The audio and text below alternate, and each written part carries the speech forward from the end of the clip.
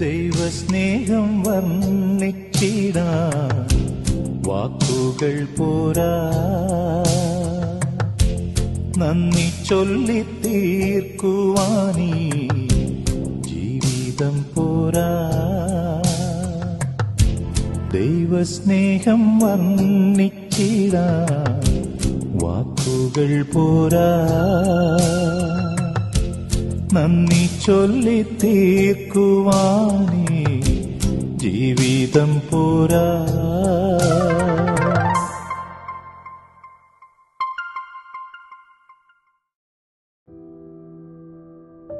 കേരളത്തിലെ ഒരു പുരാതന സാംസ്കാരിക കേന്ദ്രമാണ് മാവേലിക്കര. ചരിത്രം ഉറങ്ങിക്കിടക്കുന്ന പട്ടണമാണ് മാവേലിക്കരയും അനുബന്ധ പ്രദേശങ്ങളും. മഹാബലി ചക്രവർത്തിയുടെ അഥവാ മാവേലിയുടെ കര എന്ന വിശേഷണത്തിലാണ് മാവേലിക്കര അറിയപ്പെടുന്നത്. മാറിവാനിയോസ് പിതാവിന്റെ ജന്മഗ്രഹം സ്ഥിതി ചെയ്യുന്ന പ്രദേശം എന്ന പുണ്യകീർത്തിയും ഈ പ്രദേശത്തിനുണ്ട്. മാവേലിക്കര യോഗത്തിനും മാവേലിക്കര സുനഹദോസിനും സാക്ഷ്യം വഹിച്ച ഈ മണ്ണിൽ മാർത്തോമ ക്രിസ്ത്യാനികളുടെ ഐക്യത്തിനും സാർവത്രിക കൂട്ടായ്മയിലേക്കുള്ള പ്രവേശനത്തിനുമായി ഒരു പുതിയ ജോഷുവ ആഗതനായിരിക്കും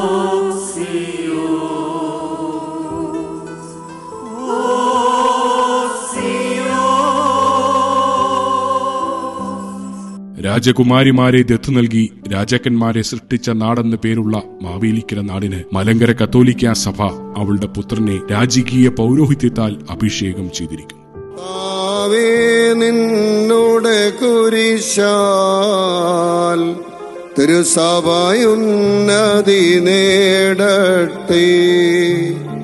നിൻ സ്ലീബായി വർക്കാകട്ടെ. ദുഷ്ടരിൽ നിന്നുള്ളോരഭയം കൊട്ടാരക്കര കിഴക്കേ തിരുവിൽ പുരാതനവും ചരിത്ര പ്രസിദ്ധവുമായ മണികെട്ടിയ കിഴക്കേ വീട്ടിൽ കെ ഒ വർഗീസിന്റെയും അന്നമ്മയുടെയും മകനായി ആയിരത്തി തൊള്ളായിരത്തി അൻപത് മെയ് മാസം ഇരുപത്തിനാലാം തീയതിയാണ് ജോയിച്ചൻ പിറന്നത്. എന്റെ പിതാവ് ഒരു അധ്യാപകനായിരുന്നു അതിനുശേഷം കച്ചവടവുമായി ബന്ധപ്പെട്ട് പിതാവിന്റെ സഹോദരിയുടെ പുനലൂർ കുടുംബവുമായി ബന്ധപ്പെട്ട് പുനലൂരെ മാവൻ ബിസിനസ് രംഗത്ത് പ്രവർത്തിക്കുമ്പോൾ അദ്ദേഹവുമായി സഹകരിച്ച് കാര്യങ്ങളൊക്കെ ചെയ്യുന്ന ഒരു വ്യക്തിയായിരുന്നു. പിതാവിന്റെ ഉദാര മനസ്കതയും ഭക്തിയായ അമ്മയുടെ ജീവിത വിശുദ്ധിയും അവന് ജീവിതത്തിലെ ആദ്യ പാഠങ്ങളായി. രണ്ടാം ലോകമഹായുദ്ധം കഴിഞ്ഞ നാളുകളിലെ തീരാവറുതിയുടെ അന്തരീക്ഷത്തിൽ സാധുക്കൾക്ക് ഭക്ഷണത്തിനുള്ള വക വിതരണം ചെയ്തിട്ട് ബാക്കി വരുന്നവ മാത്രം കടയിലേക്ക് കൊണ്ടുപോകാറുണ്ടായിരുന്ന അപ്പച്ചന്റെ സഹജബോധം കണ്ടാണ് അവൻ വളർന്നത്. കൊല്ലത്തു നിന്നും റേഷനരി പുനലൂരിലേക്ക് കൊണ്ടുപോകുമ്പോൾ ഞങ്ങളുടെ ആ പ്രദേശത്തുള്ള പാവപ്പെട്ടവർക്ക് ആവശ്യത്തിനുള്ള ഭക്ഷണത്തിന് അരി കൊടുത്തതിന് ശേഷമേ കച്ചവടത്തിന് പോകുമായിരുന്നുള്ളൂ. ആയിരത്തി തൊള്ളായിരത്തി അൻപത്തിയാറിൽ ജോയിച്ചന് ആറു വയസ്സുള്ളപ്പോൾ മരണമാലാഖ കെ ഒ വർഗീസിനെയും കൊണ്ട് യാത്രയായി. സ്നേഹബാല്യങ്ങളുടെ പൈതൃക സ്പർശം ഇനി ഒരിക്കലും ജീവിതത്തിൽ ഉണ്ടാകില്ലെന്ന് തിരിച്ചറിയുവാൻ അന്നവന് കഴിഞ്ഞിട്ടുണ്ടാവുകയില്ല. അദ്ദേഹം ജീവിച്ചിരുന്ന കാലഘട്ടത്തിൽ വൈകിട്ട് ജോലി കഴിഞ്ഞ് വന്ന് മക്കളെല്ലാം ഒന്നിച്ചുകൂട്ടി ഇരുന്ന് പ്രാർത്ഥിക്കുന്ന അനുഭവം എനിക്കൊരു നല്ല അനുഭവമായി ഇന്നും നിലകൊള്ളുകയാണ്. ഗ്രാമപ്രാർത്ഥന നടത്തിയതിനു ശേഷം വ്യക്തിപരമായി ഓരോരുത്തരുടെയും ആവശ്യങ്ങളെ ദൈവസന്നിധിയിൽ അദ്ദേഹം സ്വയം പ്രേരിത പ്രാർത്ഥനയിലൂടെ നടത്തുന്ന ആ കാര്യങ്ങളും നന്നായി ഓർക്കുന്നുണ്ട്. ഒരുപക്ഷെ പിതാവ് താമസിച്ചാണ് വരുന്നതെങ്കിൽ അദ്ദേഹം വന്ന് അമ്മയും ഒത്തിരുന്ന് ഭക്ഷണം കഴിക്കുമ്പോൾ ഞാൻ പെട്ടെന്ന് ഉണർന്ന് കൂടെ പോയിരുന്ന് അദ്ദേഹത്തിന്റെ കയ്യിൽ നിന്നും ഒരു ഉരുള ആഹാരം വാങ്ങി കഴിക്കുമ്പോഴേ എനിക്ക് തൃപ്തി ഉണ്ടായിരുന്നുള്ളൂ. അത് കഴിഞ്ഞ് ഒന്നിച്ച് അദ്ദേഹത്തോടൊപ്പം ഇരുന്ന് പ്രാർത്ഥിക്കുന്ന ആ അവസരവും ഒക്കെ ഞാൻ ഓർക്കുകയാണ്. അദ്ദേഹം ഈ ലോകത്തെ വിട്ട് കടന്നുപോയി. മനുഷ്യകരങ്ങൾക്ക് പ്രതിരോധിക്കാനാകാത്ത മറ്റൊരു ദിശാസന്ധി പിറ്റേ വർഷം സെപ്റ്റംബർ മാസം പതിനാലിന് മാതാവിനെയും അവനിൽ നിന്ന് കവർന്നെടുത്തു. ഒന്നിനും ഒരു കുറവ് വരാൻ പാടില്ല എന്നുള്ള രീതിയിൽ വല്യപ്പച്ചനും വല്യമ്മച്ചിയും എന്റെ മൂത്ത സഹോദരങ്ങളും പിതാവിന്റെ സഹോദരങ്ങളും എല്ലാം വളരെ കരുതലോടുകൂടി എന്നെയും എന്റെ സഹോദരങ്ങളെയും വളർത്തി. പഠിക്കുന്നതിനും പ്രവർത്തിക്കുന്നതിനുമുള്ള പൂർണ സ്വാതന്ത്ര്യം നൽകിക്കൊണ്ട് വളർത്തി. കുടുംബ ബന്ധങ്ങൾക്കപ്പുറത്തേക്കുള്ള ഒരുവന്റെ വളർച്ചയ്ക്ക് വിധി തന്നെ അവിടെ വഴിയൊരുക്കുകയായിരുന്നു. എല്ലാവരേക്കാളും അധികം സ്നേഹം ഏറ്റുവാങ്ങി വെള്ളിപ്പച്ചന് ഏറ്റവും പ്രിയപ്പെട്ടവനായി ജോയിച്ചൻ വളർന്നു. കിഴക്കേ തെരുവ് സെന്റ് മേരീസ് സ്കൂളിലും കൊട്ടാരക്കര ബോയ്സ് ഹൈസ്കൂളിലുമായിട്ടായിരുന്നു ജോയിച്ചന്റെ സ്കൂൾ വിദ്യാഭ്യാസം. പഠനത്തിൽ അതിപ്രഗത്ഭനൊന്നും ആയിരുന്നില്ലെങ്കിലും അപാരമായ ഓർമ്മശക്തിയും ഒഴിച്ചു നിർത്താൻ കഴിയാത്ത സാമർഥ്യവും അന്നേ അദ്ദേഹത്തിനുണ്ടായിരുന്നു. കിഴക്കത്തെരുവ് പള്ളിയുമായി അഭേദ്യമായി ബന്ധപ്പെട്ട് ചെറുപ്രായം മുതൽ വളർന്നു വരുവാൻ സാധിച്ചിട്ടുണ്ട്. അവിടെ പ്രവർത്തിച്ചിട്ടുള്ള ബഹുമാന്യരായ വൈദികര്. വലിയ വീട്ടിലച്ഛൻ മലങ്കര സഭയുമായി പുനരയിക്കപ്പെട്ട ശേഷം വളരെ വലിയ ഒരു നേതൃത്വം നൽകിയ ആ കാലഘട്ടവും അതിനുശേഷം അദ്ദേഹം കരവാളൂരേക്ക് താമസമാക്കിയ ആ കാലഘട്ടവും തിരുവനന്തപുരത്തു നിന്നും പ്രവർത്തിക്കുവാനായി വൈദികർ അവിടെ വന്ന് താമസിച്ച ആ കാലഘട്ടവും അവരെ സഹായിക്കുവാൻ മാറിവാനീസ് കോളേജിൽ നിന്നും ബഹുമാനപ്പെട്ട ഗീവർഗീസ് പണിക്കരച്ചൻ വൈസ് പ്രിൻസിപ്പലായിരുന്നു പ്രിൻസിപ്പലായും ഒക്കെ പ്രവർത്തിച്ച കാലഘട്ടത്തിൽ സ്ഥിരമായി ഞായറാഴ്ചകളിലും വിശുദ്ധവാരത്തിലും ക്രിസ്മസിലുമൊക്കെ ശുശ്രൂഷ ചെയ്യുന്ന ഒരു ഇടവകയായിരുന്നു കിഴക്കത്തിരിവ് ഹോളി ട്രിനിറ്റി ഇടവക. അപ്പോൾ ഇവരുമായിട്ടുള്ള ആ അടുപ്പം ബഹുമാനപ്പെട്ട വി ടി തോമസ് അച്ഛൻ വിളനിലത്തെ വി ടി തോമസ് അച്ഛൻ കൊല്ലം രൂപതയിൽ നിന്ന് മലങ്കരയുടെ പുനരയ്ക്കും യാഥാർത്ഥ്യമായപ്പോൾ മലങ്കരയിൽ പ്രവർത്തിക്കുവാൻ സ്വാതന്ത്ര്യം കൊടുത്ത അവസരത്തിൽ വന്ന് പ്രവർത്തിച്ച ആ കാലഘട്ടത്തിൽ അദ്ദേഹത്തോടൊപ്പവും. അതിനുശേഷം പ്രിയപ്പെട്ട ജോസഫ് തച്ചേട്ടച്ചനോടൊപ്പവും. അതിനുശേഷം സി മാത്യു ഏഴനിക്കാട്ടച്ചൻ ജോസഫ് താഴ്ത്തുവിട്ടലച്ചൻ ഏബ്രഹാം അച്ഛൻ അദ്ദേഹം ചെന്നിത്തല ഇടവക്കാരനായിരുന്നു വാലുപറമ്പിൽ. ഞങ്ങളെ കുട്ടികളെയൊക്കെ ഒന്നിപ്പിച്ച് നിർത്തിക്കൊണ്ട് വളരെയധികം പ്രോത്സാഹിപ്പിച്ചിട്ടുള്ള ഒരു വ്യക്തിയാണ് എബ്രഹാം വാലുപറമ്പിൽ അച്ഛൻ അദ്ദേഹമൊക്കെ ഞങ്ങൾക്ക് ഈ പൗരോഹിത്യത്തോടുള്ള ആഭിമുഖ്യവും സമൂഹത്തിൽ ഓരോരുത്തരും ആരായിത്തീരണമെന്നുള്ള സങ്കല്പവുമൊക്കെ നൽകിക്കൊണ്ട് പ്രോത്സാഹിപ്പിച്ച വ്യക്തികളാണ്. പ്രിയപ്പെട്ട ഗീവർഗീസ് പണിക്കരച്ചൻ ജോസഫ് തച്ചട്ടച്ചൻ ഇവരൊക്കെ എന്റെ ദൈവവിളിയെ വളരെയധികം പ്രോത്സാഹിപ്പിച്ചിട്ടുള്ളവരാണ്. ദേവാലയ കാര്യങ്ങളിൽ പ്രായത്തെ അതിലംഘിക്കുന്ന അഭിനിവേശം കുട്ടിക്കാലം മുതൽക്കേ ജോയിച്ചന്റെ സഹജഭാവമായിരുന്നു. കിഴക്കേ തെരുവിലോ പരിസര പ്രദേശങ്ങളിലോ ഗീഗോറിയോസ് പിതാവ് എത്തിയാൽ കുർബാനയ്ക്ക് കൂടാൻ അവൻ പറന്നെത്തും. പലതവണ ഗീഗോറിയോസ് പിതാവ് ചോദിച്ചു കുഞ്ഞ് അരമനയിലേക്ക് വരുന്നോ? ഒരു പുഞ്ചിരി മാത്രം മറുപടി നൽകുമ്പോഴും അവൻ അറിയാമായിരുന്നു എന്തെങ്കിലും അതുണ്ടാകുമെന്ന്. വൈദികനിലേക്കുള്ള ജോയിച്ചന്റെ നിയോഗത്തിന് കാരണഭൂതരായത് ഡി എം കോൺവെന്റിലെ അക്കാലത്തെ സിസ്റ്റേഴ്സ് ആയിരുന്നു. ആയിരത്തി തൊള്ളായിരത്തി അറുപത്തിരണ്ടിലെ ഒരു സായാഹ്നത്തിൽ തച്ചയുടെ തച്ചനോട് ജോയിച്ചൻ ഒരാവശ്യമുന്നയിച്ചു കുഞ്ഞുങ്ങളെ ദേവാലയ കാര്യങ്ങളിൽ പരിശീലിപ്പിക്കുവാൻ ഇടവകയിൽ സിസ്റ്റേഴ്സ് വരണം. അച്ഛന്റെ മറുപടി നിങ്ങൾ തന്നെ മാർത്താണ്ഡത്തുള്ള മദറിന് കത്തെഴുതുക എന്നായിരുന്നു. ജ്യേഷ്ഠൻ വാങ്ങിക്കൊണ്ടുവന്ന പോസ്റ്റ് കാർഡിൽ Mother Mary D M convent Marthandam എന്ന അഡ്രസ്സിൽ ഒരു പന്ത്രണ്ട് വയസ്സുകാരനയച്ച കത്തിന് മറുപടി വന്നില്ല. പകരം മദർ നേരിട്ട് വന്നു. മഠം തുടങ്ങാമെന്ന വാഗ്ദാനവുമായി. പക്ഷേ എവിടെ തുടങ്ങും? അതിനുത്തരം ജോയിച്ചന്റെ നാവിൻ തുമ്പിലുണ്ടായിരുന്നു. ഞാൻ പറഞ്ഞു എന്റെ വീട്ടിൽ സിസ്റ്റേഴ്സിൽ താമസിക്കാം. ഞാൻ പെട്ടെന്ന് വീട്ടിൽ പോയി വല്യപ്പച്ചനോട് പറഞ്ഞു സിസ്റ്റേഴ്സ് വന്നിട്ടുണ്ട് അവർക്ക് താമസിക്കാനായിട്ട് വീട് താക്കോലെടുത്ത് തന്നു തുറന്നു കൊടുക്ക് അവർ നോക്കട്ടെന്ന് പറഞ്ഞു. അപ്പോൾ ഞാൻ പോയി തുറന്നു കൊടുത്തു. മദറും അച്ഛനും സിസ്റ്റർ കൊച്ചു ത്രേസ്യ ത്രേസ്യ കൊച്ചുകാലായാലും ഒന്നിച്ച് അവിടെ പോയി കണ്ടു. ഇത് ഫ്രീ ആണെങ്കിൽ ഇത് മതി എന്നുള്ള ഒരു ആശയം പറഞ്ഞു. സിസ്റ്റേഴ്സിനെയും കൂട്ടിക്കൊണ്ട് വല്യപ്പച്ചന്റെ അടുത്ത് വന്നു. വളരെ സന്തോഷമായി. വല്യപ്പച്ചനോട് അവർ ചോദിച്ചു എന്ത് വാടകയാണ് വേണ്ടത്? വല്യപ്പച്ചൻ പറഞ്ഞു വാടകയൊന്നും വേണ്ട. സിസ്റ്റേഴ്സിന് എത്രത്തോളം താമസിക്കാമോ അത്രയും നാം താമസിച്ചോളൂ എന്ന് പറഞ്ഞ്. അങ്ങനെ ആ ഭവനം ഒരു മഠമായി മാറി. ഏറെ സന്തോഷം. ബെനഡിക് മാർ ഗ്രിഗോറിയോസ് തിരുമേനി എന്റെ വീട്ടിൽ വന്ന് ആ വീട് ബ്ലസ് ചെയ്ത് അവിടെ വിശുദ്ധ ബലി അർപ്പിച്ചപ്പോൾ എനിക്ക് ഏറെ സന്തോഷമായി. ആ ബലിയർപ്പണം ഒരു പുരോഹിതനാകണമെന്നുള്ള ആഗ്രഹം കൂടെ വർദ്ധിപ്പിക്കുവാൻ അത് സഹായകമായി. സ്കൂൾ ഫൈനൽ പരീക്ഷയുടെ വിജയം ആഘോഷിക്കുവാൻ മധുരവുമായി മഠത്തിലെത്തിയ ജോയിച്ചനോട് സിസ്റ്റർ ട്രീസ ചോദിച്ചു ഇനി എന്താ പരിപാടി? ഞാൻ സെമിനാരിയിലേക്ക് പോവുകയാണ് എന്നായിരുന്നു മറുപടി. പക്ഷേ ആദ്യം പഠിക്കുക പിന്നീട് ആലോചിക്കാം എന്നായിരുന്നു വീട്ടുകാരുടെ മറുപടി. അവൻ എതിർത്തു നിന്നു. പിന്നെ വന്നത് അനിശ്ചിതകാല നിരാഹാര സത്യാഗ്രഹം. ആഹാരവിരോധം രോഗത്തിനു വഴിമാറി. ജ്വരക്കിടക്കിയിൽ പേരക്കിടാവ് മനസ്സു നൊന്ത് കിടക്കുമ്പോൾ തീരുമാനത്തിന്റെ അവസാന വാക്കുമായി വല്യപ്പച്ചനെത്തി അവന്റെ ഇഷ്ടം അതാണെങ്കിൽ തടയാനും പ്രതിരോധിക്കാനുമൊക്കെ നമ്മൾ ആരാണ് നെഞ്ചിൻ കൂടിലെ സ്വപ്ന പൈങ്കിളിക്ക് പറന്നുയരാൻ ഒരാകാശം കിട്ടിയ ആഹ്ലാദം ശരീരത്തെ സുഖപ്പെടുത്തി. ലോകം അവനെ വിട്ടുമാറി. ഇനി സ്വപ്ന സാക്ഷാത്കാരത്തിന്റെ നാളുകൾ. അന്ന് പട്ടത്ത് പഴയ അരമന ഇപ്പോഴത്തെ കാതലിക്കേറ്റ് സെന്റർ ഇരിക്കുന്ന ആ സ്ഥലത്താണ് അരമനയും സെമിനറിയും കറസ്പോണ്ടന്റ് ഓഫീസും പ്രസ്സും ഇതിന് തൊട്ടടുത്ത് കത്തീഡലും ഇങ്ങനെയുള്ള വിശാലമായ ഒരു ക്യാമ്പസ് ആയിരുന്നു. ഞങ്ങൾ അവിടെ ചെല്ലുമ്പോൾ ഗ്രിഗോറിയസ് തിരുമേനി ഇല്ല പള്ളിയിൽ പോയിരിക്കുകയാണ്. ഞായറാഴ്ചയാണ് എന്നെ കൊണ്ടുവിടുന്നത് വൈകിട്ട്. സെന്റ് അലൂഷ്യസ് മൈനർ സെമിനാരി വിളിക്കപ്പെട്ടവന്റെ രണ്ടാം വീട്.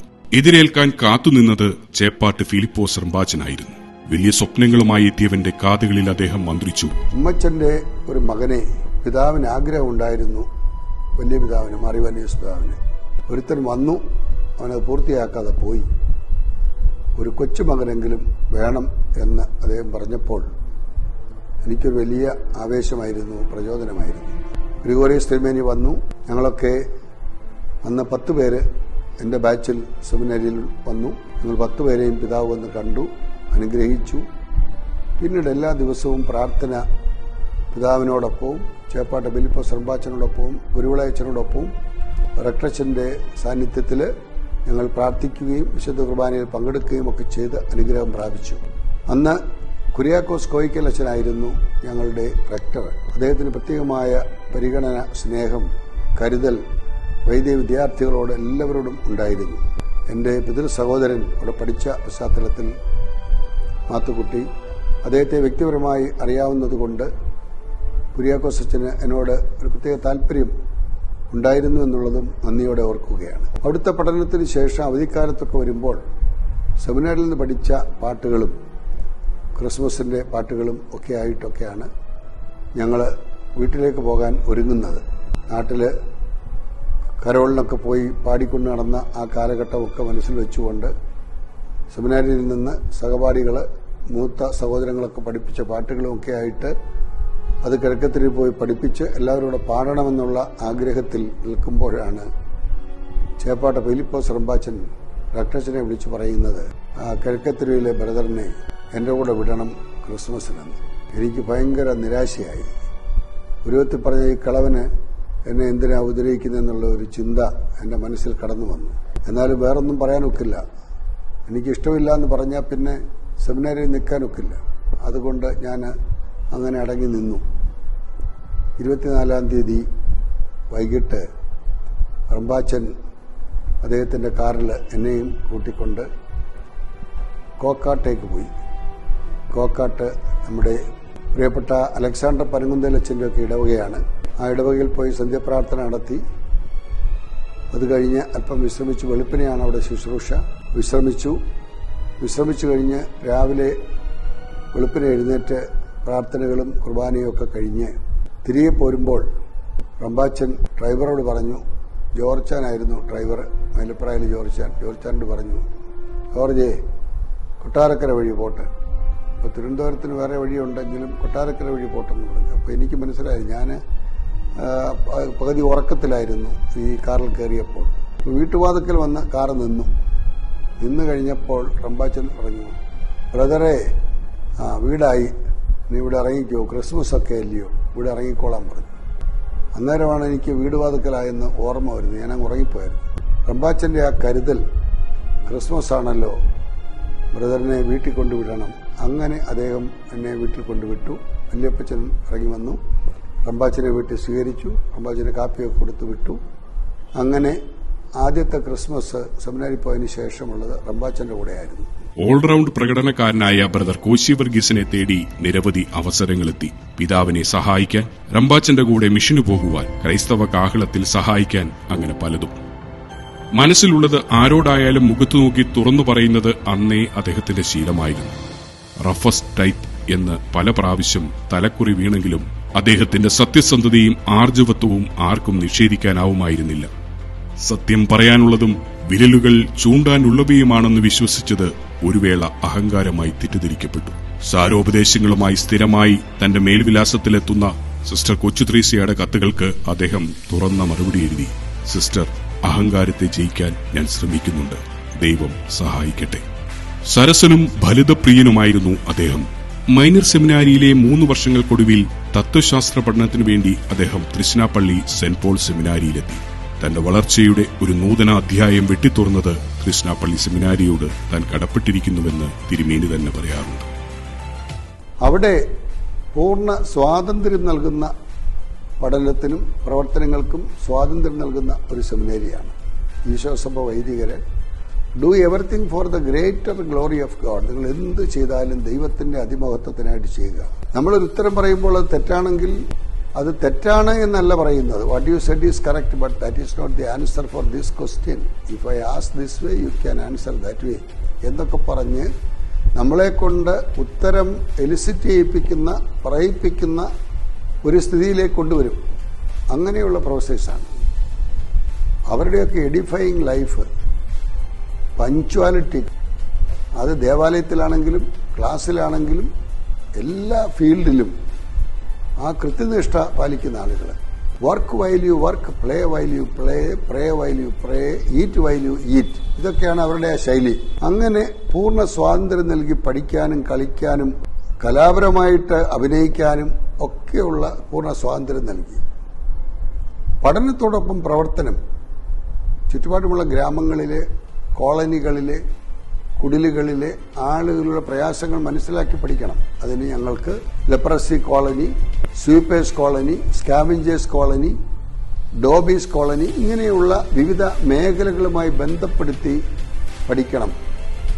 അപ്പോൾ അവരുടെ പ്രയാസങ്ങളൊക്കെ മനസ്സിലാക്കി നമ്മുടെ പൗരോഹിത്യത്തിൽ അതിനെ എങ്ങനെയാണ് പരിഹാരം കണ്ടെത്തേണ്ടതെന്ന് ചിന്തിച്ച് മുമ്പോട്ട് പോകാനുള്ള വലിയൊരു അവസരമായിരുന്നു. ആയിരത്തി തൊള്ളായിരത്തി എഴുപത്തിയെട്ടിൽ സെമിനാരി പഠനം അവസാനിച്ചു. രാജകീയ പൌരോഹിത്യത്തിൽ നിന്നും ശുശ്രൂഷ പൌരോഹിത്യത്തിലേക്ക് ഇനി അധിക ദൂരമില്ല. കൊട്ടാരക്കരയിൽ വെച്ച് പട്ടം നടത്താമെന്ന തീരുമാനമുണ്ടായി. ഇനിയൊരു രാത്രി കൂടി. തിരുപ്പട്ട സ്വീകരണത്തിന്റെ തലേ രാത്രി. ഈ രാത്രിയിൽ തനിക്കുറങ്ങാനാവില്ലെന്ന് വേദനയോടെ അവൻ അറിഞ്ഞു. ഹൃദയ താഴ്വാരങ്ങളിൽ എവിടെയോ ഒരു നഷ്ടബോധത്തിന്റെ രാക്കിളിപ്പാട്ട്. ഉവ് നെഞ്ചോട് ചേർത്ത് ഇത്ര നാളും കാത്തുവെച്ച പ്രിയപ്പെട്ടതെന്തോ താൻ മറന്നിരിക്കുന്നു. വല്യപ്പച്ചന്റെ ആശീർവാദം. നാളത്തെ സൂര്യോദയത്തിൽ താൻ എന്തൊക്കെ ഏറ്റുവാങ്ങുമോ അതിനൊക്കെ മുമ്പ് തന്റെ നെറുകയിൽ പതിയേണ്ട വിരൽപ്പാടുകൾ സിമിയോൻ എന്ന ജ്ഞാനവൃദ്ധനെ പോലെ പ്രിയപ്പെട്ടതെന്തോ ഒന്ന് കൺമുൻപിൽ സംഭവിക്കും വരെ. ഈ ഭൂമി വിട്ടുപോകില്ലെന്ന വാശിയോട് ജീവിച്ച മനുഷ്യനാണ് ദൈവമേ. വല്യപ്പച്ചന്റെ അനുഗ്രഹം വാങ്ങാൻ ഞാൻ മറന്നിരിക്കുന്നു. അഗ്നിയുരുകുന്ന മനസ്സുമായി അദ്ദേഹം ഗീഗോറിയസ് പിതാവിന്റെ മുറിയുടെ വാതിലിൽ മുട്ടിവിളിച്ചു. എന്താ കുഞ്ഞെ ഉറക്കം വരുന്നില്ലേ? പിതാവി ഇങ്ങനൊരു ആഗ്രഹമുണ്ട്. ഏറ്റവും നല്ല കാര്യമാണ്. എങ്ങനെയാ ശമാശം പോകുന്നേ വണ്ടി വല്ലതും ആണോ ഞാൻ പറഞ്ഞു വേണ്ട പിതാവി ഞാൻ പൊക്കോളാം. ആ ശരി. അപ്പം ഞാൻ അവിടെ വരുമ്പം അവിടെ പള്ളിയിൽ അവിടെ കാണണം. അങ്ങനെ ഞാൻ അദ്ദേഹത്തിന്റെ അനുഗ്രഹം വാങ്ങിച്ചുകൊണ്ട് നേരെ വീട്ടിലേക്ക് പോയി. വീട്ടിൽ ചെന്നപ്പോഴേക്കും വീട്ടിലെല്ലാവർക്കും അതിശയമാണ്. തിരുമേനിയുടെ കൂടെ വരും എന്ന് പറഞ്ഞ ആൾ അതിന് ഇങ്ങ് വന്നു. ഇനി വേണ്ടാന്ന് വെച്ച് വന്നയാണോ എന്താണെന്നുള്ള ഒരു ആകാംക്ഷ സ്വാഭാവികമായിട്ട് അവർക്കൊക്കെ ഉണ്ടായി. പക്ഷെ ഞാൻ പറഞ്ഞു അങ്ങനെയല്ല. ഞാൻ നേരത്തെ വന്നതേ ഉള്ളൂ. വീട്ടിൽ നിന്ന് പ്രാർത്ഥിച്ച് പള്ളിയിലോട്ട് പോകാമല്ലോ എന്ന് വിചാരിച്ചു. അങ്ങനെ പ്രാർത്ഥിച്ചു. വല്യപ്പച്ചൻ അനുഗ്രഹിച്ചു. അങ്ങനെ ഞാൻ പള്ളിയിലേക്ക് പോയി. പള്ളിയിലെത്തി. അല്പസമയം കഴിഞ്ഞപ്പോഴേക്കും പിതാവ് വന്നു. ഞങ്ങളെ ഒന്നിച്ച് പള്ളിയിലേക്ക് സ്വീകരിച്ചു. വട്ടം നടത്തി. ബഹുമാനപ്പെട്ട ഗീവർഗീസ് പണിക്കരച്ചനും ജോസഫ് തച്ചേട്ടച്ചനുമൊക്കെ ആ പട്ടംകുടയ്ക്കുണ്ടായിരുന്നു. കൂടെയൊക്കെ കോളേജിന് ഹോസ്റ്റലിൽ ഏതോ പ്രശ്നമുണ്ട്. അതുകൊണ്ട് പണിക്കരച്ചൻ ഉടനെ ചെല്ലണമെന്ന് ആവശ്യപ്പെട്ടപ്പോൾ പട്ടംകുട കഴിഞ്ഞ് അദ്ദേഹം വന്ന് എന്റെ കയ്യിൽ പിടിച്ച് അനുഗ്രഹമൊക്കെ തന്നിട്ട് പറഞ്ഞു ഞാൻ അത്യാവശ്യമായിട്ട് തിരുവനന്തപുരം വരെ പോവുക. നാളെ രാവിലെ കുർബാനയ്ക്കുണ്ടായിരിക്കും എന്ന് പറഞ്ഞ് അദ്ദേഹം പോയി. പിറ്റേ പ്രഭാതത്തിൽ അദ്ദേഹത്തിന്റെ നവപൂജാർപ്പണം. നവവൈദികന്റെ സ്വരസാന്ദ്രതയിൽ ജനം ദൈവസ്തുതികൾക്ക് കാതോർക്കവേ ബലിയർപ്പകന്റെ അന്തരാത്മാവിൽ എവിടെയോ ഭൂതകാലത്തിന്റെ ദുഃഖസ്മൃതികൾ ഉറവ പൊട്ടിയോ കണ്ടു കൊതി തീരും മുമ്പേ കാലം തന്നിൽ നിന്ന് കവർന്നെടുത്ത മാതാപിതാക്കൾക്ക് വേണ്ടി ധൂപം വെക്കുവാൻ തുടങ്ങുമ്പോൾ ഉള്ളിലൊരു വിങ്ങലുയർന്നു കൊക്കിലിയോൻ ചൊല്ലുന്ന അവസരത്തിൽ മാതാവിനോടും വിശുദ്ധരോടും കാലം ചെയ്ത പിതാക്കന്മാരോടും കുടുംബത്തിൽ കടന്നുപോയിട്ടുള്ളവരുടെ ആത്മാക്കൾക്ക് വേണ്ടിയുള്ള ആ പ്രാർത്ഥന നടത്തുന്ന അവസരത്തിൽ ആദ്യത്തെ ഭാഗമൊക്കെ കഴിഞ്ഞ് മാതാപിതാക്കൾക്ക് വേണ്ടിയും മറ്റുള്ളവർക്ക് വേണ്ടിയും പ്രാർത്ഥിക്കുന്ന അവസരം വന്നപ്പോൾ അത് തുടരാൻ സാധിച്ചില്ല. അത് പിതാവ് ഏറ്റെടുത്ത് തുടങ്ങുന്നത് പിതാവിനും അത് ഇപ്പോൾ ഒരു പ്രയാസം പോലെ വന്നു. അങ്ങനെ ഒരു വല്ലാത്ത അന്തരീക്ഷമായിരുന്നു അവിടെ. എങ്കിലും ദൈവാനുഗ്രഹത്താൽ ആദ്യ കുർബാന പൂർത്തിയാക്കി. അനുമോദന മീറ്റിംഗിൽ പിതാവ് വളരെയധികം പ്രോത്സാഹനം നൽകിക്കൊണ്ട് പറഞ്ഞു ഈ കൊച്ചച്ഛനിൽ ഞാൻ വലിയ കാര്യങ്ങളൊക്കെ പ്രതീക്ഷിക്കുന്നുണ്ട് എന്ന് പറഞ്ഞ് എന്നെ അദ്ദേഹം അനുഗ്രഹിച്ചു പ്രോത്സാഹിപ്പിച്ചു. വൈദികനായി രണ്ടാഴ്ച കഴിയും മുമ്പേ ആദ്യ നിയമന വാർത്ത അദ്ദേഹത്തെ തേടിയെത്തി. കിരാത്തൂരിൽ പിന്നീട് ലോറൻസ് മാർ അപ്രേം മെത്രാപ്പോലിത്തയായി ഉയർത്തപ്പെട്ട ബഹുമാനപ്പെട്ട ലോറൻസ് അച്ഛനൊപ്പം. കിരാത്തൂര് സ്കൂൾ മിഡിൽ സ്കൂൾ മാത്രമേ ഉണ്ടായിരുന്നുള്ളൂ. അത് ഹൈസ്കൂളാക്കി ഉയർത്തണം. അതിന്റെ ഒരു സമ്മേളനം അവിടെ അറേഞ്ച് ചെയ്തിരുന്നു. അവിടെ ലോറൻസ് പിതാവ് ലോറൻസ് തോട്ടം അച്ഛനായിട്ട് കറസ്പോണ്ടന്റായിട്ട് കിരാത്തൂർ പള്ളിയുടെ വികാരിയായി പ്രവർത്തിക്കുന്ന കാലമാണ്. അവിടെ കൊണ്ടുപോയി മീറ്റിംഗ് തുടങ്ങി. അപ്പോൾ ഞാനൊരു കൊച്ചച്ഛൻ എന്നുള്ള നിലയിൽ ജനത്തിന്റെ ഇടയിലേക്ക് മാറിയിരുന്നു. സ്റ്റേജിലിരുന്നുകൊണ്ട് ലോറൻസ് അച്ഛനോട് പറഞ്ഞു എന്റെ കൂടെ ഒരു കൊച്ചച്ഛൻ വന്നിരുന്നു അച്ഛനെയും വിളിക്കാൻ. പറഞ്ഞു അപ്പോൾ ലോറൻസ് അച്ഛൻ ഇറങ്ങി വന്ന് എന്നെ വിളിച്ചു. അപ്പോൾ ഞാൻ വിചാരിച്ചു എന്നെ വഴക്ക് പറയാനാണ് അങ്ങനെ പേടിച്ച് ചെന്നപ്പോൾ അടുത്ത് വിളിച്ചിരുത്തി. അവിടെ മീറ്റിംഗ് എല്ലാം കഴിഞ്ഞു. എന്നോടൊന്നും പറഞ്ഞില്ല. അത് കഴിഞ്ഞ് ഞങ്ങൾ നടക്കാവ് സ്കൂളിൽ പോയി. നടക്കാവ് സ്കൂളിനെയും അപ്ഗ്രേഡ് ചെയ്തു യു പി എസ് ആയിട്ട്. അവിടുന്ന് അമ്പളികോണത്തേക്ക് പോയി. അവിടുത്തെ സ്കൂളും അതേപോലെ അംഗീകാരത്തിന് വേണ്ടി ശ്രമിക്കാനുള്ള ഏർപ്പാട് ചെയ്തു. അങ്ങനെ മൂന്നാൽ സ്കൂളുകളിലും ഒക്കെ പോയിട്ട് ചെല്ലകോണത്ത് പോയി. എല്ലാ സ്ഥലങ്ങളിലും പോയി ഞങ്ങൾ തിരിച്ച് വട്ടത്തരമനയിൽ വന്നു. വന്ന് കഞ്ഞി കുടിച്ചുകൊണ്ടിരിക്കുമ്പോൾ പിതാവ് ചോദിച്ചു നമ്മൾ പോയ സ്ഥലത്ത് ഏതാണ് കൊച്ചച്ഛനെ ഏറ്റവും ഇഷ്ടപ്പെട്ടത്? ഞാൻ പറഞ്ഞു എനിക്ക് എല്ലാ സ്ഥലവും ഇഷ്ടപ്പെട്ടു. എനിക്ക് തമിഴ് അറിയാവുന്നതുകൊണ്ട് തൃശ്ശാപ്പള്ളി പഠിച്ചുകൊണ്ട് തമിഴറിയാം. അതുകൊണ്ട് അവരുടെ ഭാഷകൾ എനിക്ക് മനസ്സിലായി. അതുകൊണ്ട് എനിക്കെല്ലാം ഇഷ്ടപ്പെട്ടു എന്നുള്ള രീതിയിൽ പറഞ്ഞു. എന്നാലും ഇടവകളിൽ എവിടെയാ കൂടുതൽ ഞാൻ പറഞ്ഞു തിരാത്തൂരൊക്കെ ഒത്തിരി ആളുകളുണ്ട്. ആ അതുകൊണ്ട് തന്നെയാണ് ലോറൻസ് അച്ഛന് ഒത്തിരി ഉത്തരവാദിത്തങ്ങളുണ്ട്. അവിടെ പ്രവർത്തിക്കാൻ ആൾ വേണം. അവിടെ ഒരു കയർ ഫാക്ടറി ഉണ്ട് മഞ്ഞത്തോപ്പിൽ അതൊന്ന് ഡെവലപ്പ് ചെയ്യണം. അതേപോലെ അവിടുത്തെ സ്കൂൾ പള്ളി ആശുപത്രി ഇങ്ങനെയുള്ള ഒരുപാട് ഉത്തരവാദിത്തങ്ങളുണ്ട്. ആ പള്ളി തന്നെ നമ്മുടെ സഭയിലെ ഏറ്റവും കൂടുതൽ ഇടവക്കാരുള്ള പള്ളിയാണ്. അവിടേക്ക് ഒറ്റച്ചും പോകണം. എനിക്ക് വലിയ സന്തോഷമായി.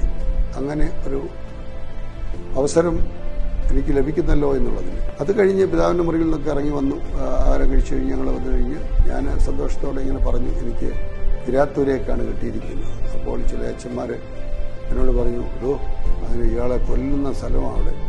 അവിടെ ഇതിന് മുമ്പുള്ള അച്ഛന്മാരെയൊക്കെ കണ്ണീര് കുടിപ്പിച്ചിട്ട് ഇട്ടിട്ടുണ്ടെന്നും പറഞ്ഞ് കുറേ വല്ലാത്ത കമന്റുകളൊക്കെ പറഞ്ഞു. അപ്പോൾ എന്റെ മനസ്സിൽ തോന്നിയത് life is a challenge you face it boldly ജീവിതം ഒരു വിളിയാണ് വെല്ലുവിളിയാണ്. അതിനെ നേരിടുക. അങ്ങനെ ആ ഒരു മനോഭാവത്തിൽ ഞാൻ പോയി. വാസ്തവത്തിൽ ഞാൻ പ്രവർത്തിച്ച കാലഘട്ടത്തിൽ എനിക്ക് ഒരു പ്രയാസവും ആളുകളിൽ നിന്നുണ്ടായിട്ടില്ല എന്നുള്ളതാണ് സത്യം. മഞ്ഞത്തോപ്പ് പള്ളിപ്പണി നടക്കുന്ന സമയം. കൊച്ചച്ചൻ തന്നെ ആദ്യം ഒരു മൺവെട്ടിയുമായി പണിയാനിറങ്ങി. ഇത് കണ്ട് ഇടവക ജനങ്ങളും ഒപ്പം കൂടി. ആരോ വന്ന് ചോദിച്ചു കൂലിക്ക് ആളെ വെച്ച് ജോലി ചെയ്യിച്ചുകൂടെ? കോശിയച്ചന്റെ മറുപടി ശ്രദ്ധേയമായിരുന്നു. നമ്മുടെ വിയർപ്പു തുള്ളികൾ ഈ പള്ളി സ്ഥലത്ത് വീണാലേ ഈ പള്ളി നമ്മുടേതാണ് എന്ന ബോധ്യം നമുക്കുണ്ടാകൂ. ഇത്തരമൊരു കൂട്ടായ്മ ബോധം സൃഷ്ടിക്കുന്നതിൽ ജീവിതത്തിലുടനീളം അദ്ദേഹം പരിശ്രമിച്ചിരുന്നു. മഞ്ഞത്തോപ്പിൽ അവിടെ കുർബാനയ്ക്ക് പള്ളി തീരെ ചെറിയ പള്ളിയായിരുന്നു. മുന്നൂറ്റമ്പതോളം കുടുംബങ്ങളുണ്ടായിരുന്നു. അപ്പോൾ കുഞ്ഞുങ്ങളെപ്പോലും പള്ളി നിർത്താനൊക്കത്തില്ല. അത്രമാത്രം ആൾക്കൂട്ടമാണ്. എല്ലാവരും പനയുടെയും തെങ്ങിന്റെയും ചവിട്ടിലൊക്കെ ആയിട്ടാണ് നിന്ന് കുർബാന കാണുന്നത്. അപ്പോൾ ഞാൻ പിതാവിനോട് പറഞ്ഞു പിതാവേ ഇവിടെ ഒരു പള്ളി വേണം. ആളുകൾക്ക് പള്ളിയിൽ നിൽക്കാൻ സൗകര്യമില്ല. കുഞ്ഞുങ്ങൾക്ക് പോകാതെ നിൽക്കാൻ പറ്റുന്നില്ല. അമ്മമാരും മറ്റുള്ളവരൊക്കെ ഒത്തിരി പ്രയാസത്തിലാണ്. പിതാവ് പറഞ്ഞു നമുക്കവിടെ ഒരു പള്ളി പണിയണം. അതിന് നമുക്ക് ശ്രമിക്കാം. അങ്ങനെ ആ ഒരു ശ്രമം പിതാവിന്റെ പ്രോത്സാഹനം വെച്ചുകൊണ്ട് പള്ളി പണിയുന്നതിനുള്ള കാര്യങ്ങളെക്കുറിച്ച് ആളുകളുമായി ആലോചിച്ചു. പാവപ്പെട്ട മനുഷ്യരാണ്. അവരോട് ഞാൻ പറഞ്ഞു നിങ്ങൾ ജോലിക്ക് പോകുന്നവർ ആഴ്ചയിൽ ഒരു രൂപ വെച്ച് തരണം. അവർ പറഞ്ഞു ആഴ്ച ഒരു ദിവസത്തിൽ ഒരു ഒരു രൂപ വെച്ച് ഞങ്ങൾ പള്ളിക്ക് വേണ്ടി മാറ്റിവെക്കാം അങ്ങനെ ആ പാവപ്പെട്ട മനുഷ്യര് നല്ല ഒരു തുക എല്ലാ ആഴ്ചകളിലും തന്ന് അവിടെ ഒരു പള്ളിപണി തുടങ്ങി. സിമന്റിനൊക്കെ വലിയ പ്രയാസമുള്ള കാലഘട്ടമാണ്. അപ്പോഴാണ് മാർത്താണ്ഡത്ത് രാജീവ് സിമന്റ് എന്ന് പറയുന്ന സി എസ് ഐ സഭയിൽപ്പെട്ട ഒരാൾ ഒരു ബിസിനസ്സുകാരനാണ്. ഞാൻ അദ്ദേഹത്തിന്റെ അടുത്ത് പോയി പറഞ്ഞു ഞങ്ങൾ ഇങ്ങനൊരു പള്ളി പണിയാണ്. കുറച്ച് സിമെന്റ് വേണം. അപ്പോൾ ഞങ്ങൾക്ക് അടുത്ത അലോട്ട്മെന്റ് വരുമ്പോൾ ഞങ്ങളൊന്ന് സഹായിക്കണം. അയാൾ പറഞ്ഞു ഫാദറെ ഇന്ന് രാത്രി ഒരു ലോഡ് സിമെന്റ് വരുന്നുണ്ട്. ഇവിടെ ഇറക്കിയാൽ ഇവിടെ ഭയങ്കര പ്രയാസമായിരിക്കും ഡിമാൻഡ്. അതുകൊണ്ട് അത് നേരെ ഫാദറിനെ കൊണ്ടുപോകി പള്ളി പണിക്കല്ലേ കൊണ്ടുപോക്കോ എന്ന് പറഞ്ഞു. അപ്പോൾ കാശില്ലെന്നൊന്നും പറയാനൊക്കത്തില്ല അങ്ങേരോട്. ഞാൻ ഇത് കേട്ടോണ്ട് നേരെ തിരുവനന്തപുരത്ത് വന്നു. തിരുവനന്തപുരത്ത് വന്നപ്പോൾ ഗ്രിഗോറി ശ്രീമനി ഇല്ല കുരുവിള അച്ഛനാണ്. കുരുവിള അച്ഛനെ കണ്ടിട്ട് ഞാൻ പറഞ്ഞു ഇങ്ങനെ ഒരു ലോഡ് സിമെന്റ് തരാമെന്ന് പറഞ്ഞു. ഒരു ലോഡ് സിമെന്റോ? പകുതി ഇങ്ങ് തരാമോ? ഇവിടൊക്കെ പണിയാൻ സിമെന്റ് ഇല്ലാതിരിക്കുക ഞാൻ പറഞ്ഞു തരാമല്ലോ. ആ എന്നാ ശരി. പ്രൊക്കറേറ്റ് അച്ഛനെ വിളിച്ചു പറഞ്ഞ് കാശ് കൊടുത്തു വിടാൻ പറഞ്ഞു. അങ്ങനെ കാശും തന്ന് ഞാൻ പോയി കാശ് അയാളുടെ കൊണ്ട് കൊടുത്തു. രാത്രി ഒരു ലോഡ് സിമെന്റ് വന്നു. പകുതി മഞ്ഞത്തോപ്പിൽ ഇറക്കി പകുതി തിരുവനന്തപുരത്തും കൊണ്ട് ഇറക്കി കൊടുത്തു. അങ്ങനെ ആ പണികൾ നടന്നു. ഗ്രിഗോറിയസ് തിരുമേനി വളരെ ഔദാര്യത്തോടെ ദാനിയൽ കടകം കടമ്പളിച്ചുകൊണ്ട് പറഞ്ഞു ചോ അവിടുത്തെ മേശരിമാരുടെ കാശെല്ലാം ഇവിടുന്ന് കൊടുത്തേക്കണം. ആ പള്ളിക്കുള്ള തടിയും കാര്യങ്ങളും ഒക്കെ ഇവിടുന്ന് ഞങ്ങൾ കൊടുക്കണം. ബാക്കി കാര്യങ്ങളൊക്കെ അവരവിടെ ചെയ്യട്ടെ എനിക്ക് വലിയൊരു സഹായമായി. അപ്പോൾ തടിപ്പണിയും മറ്റു കാര്യങ്ങളെല്ലാം അരമനയിൽ നിന്ന് തരും. മേശ്രിമാർക്ക് ആശ ആഴ്ചയോറുള്ള കാശും അരമനയിൽ നിന്ന് കൊടുക്കും. പിന്നെ മറ്റ് പണി മാത്രമേ ഉള്ളൂ. അത് അവിടെ ചെയ്യിക്കാം. അങ്ങനെയുള്ള ധൈര്യത്തിൽ ഞാൻ പോയി. ദൈവാനുഗ്രഹം കൊണ്ട് ഒൻപത് മാസം കൊണ്ട് ആ പള്ളി പണി പൂർത്തിയാക്കി. മനോഹരമായ ഒരു പള്ളി. അധികം താമസിക്കാതെ പഠന സൗകര്യത്തിനു വേണ്ടി അദ്ദേഹത്തിന് മാർത്താണ്ഡത്തേക്ക് ട്രാൻസ്ഫർ കിട്ടി. മാർത്താണ്ഡം സി എസ് ഐ കോളേജിൽ പഠിച്ചുകൊണ്ട് തന്നെ അദ്ദേഹം വിമലപുരം സുസൈപുരം എന്നീ പള്ളികൾ നടത്തി. എന്റെ പഠനം കഴിഞ്ഞപ്പോൾ ഗ്രിഗോറിയസ് പറയുന്നത് അച്ഛൻ മദ്രാസിലേക്ക് പോകണം. ജോർജ് ജേക്കപ്പച്ചന് അവിടെ വലിയ പ്രവർത്തനമാണ് നടത്തുന്നത്. നമുക്കൊരു സ്കൂൾ സാധ്യതയുണ്ട് അവിടെ. ഇപ്പോൾ നമ്മുടെ പള്ളിപ്പുരയിടത്തിലാണ് ആ പള്ളിക്കകത്താണ് ഷെഡിനകത്താണ് സ്കൂൾ നടക്കുന്നത്. അതൊന്ന് മാറ്റി നമുക്ക് വേറെ ഒരു പള്ളി പണിയേണ്ടതായിട്ടുണ്ട്. സ്കൂളൊന്ന് ഡെവലപ്പ് ചെയ്യണം. അതുകൊണ്ട് അച്ഛനെ ഒന്ന് സഹായിക്കണം. അവിടെ പോയി സ്കൂളിന്റെ ഒക്കെ ചുമതല നോക്കണം എന്ന് പറഞ്ഞു. ഞാൻ മദ്രാസ് ചെന്നു. ഞാൻ അതിന് മുമ്പും ജോർജ് ജേക്കപ്പച്ചൻ ഒരു ആക്സിഡന്റ് ആയ അവസരത്തിൽ എഴുപത്തി എട്ടിൽ കുറേ നാളത്തേക്ക് അച്ഛനെ സഹായിക്കാനായിട്ട് അവിടെ പോയിട്ടുണ്ട്. ആ അവസരത്തിൽ ആളുകളുമായും ഒക്കെ പരിചയപ്പെടാനിടയായിട്ടുണ്ട്. അതുകൊണ്ട് എനിക്കതൊരു സന്തോഷമായിട്ട് തോന്നി. പിതാവ് ഒരു കാര്യം പറഞ്ഞു. അച്ഛന്റെ പഠനം കളയണ്ട പഠിച്ചോണം.